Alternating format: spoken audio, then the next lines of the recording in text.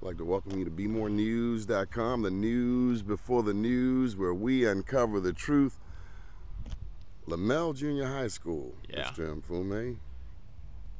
I ran home on many a day. uh, many a day. Well, you know, when I when my family moved over to the west side, I must have.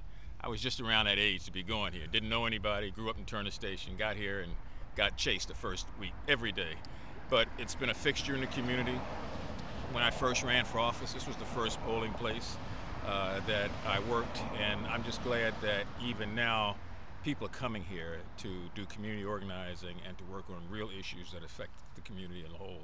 Sonja Sohn adding a new dimension to the wire.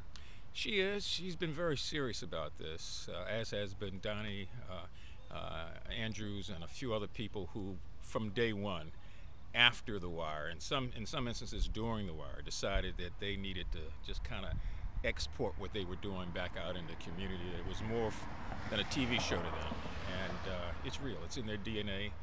Um, and if you took them to a planet and put them down somewhere, uh, the moon, they'd still do the same thing. That's how committed they are. So I'm glad to be here to be a part of it. Uh, I want to see it grow, and I'm hoping that it gets beyond the walls of this school back into the community to reach a lot of young people before they do the wrong thing, and a lot of old people who can do something right before they die. President Obama, how's he looking? Well, what are we, 24 days from the election?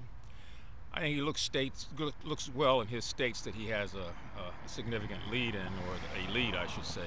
He's got still work to do in the battleground states of Florida, uh, Ohio, North Carolina, Virginia, uh, maybe Nevada.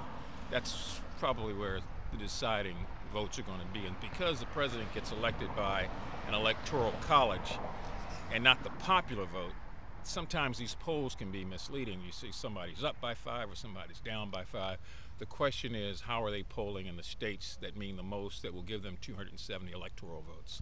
So it's not over yet. Yeah. Good deal. We appreciate you. Thank you. Thank you very much. I appreciate it. Keep watching BmoreNews.com, the news before the news. Be where we well. Take care, everybody. Truth. Thank, you, man.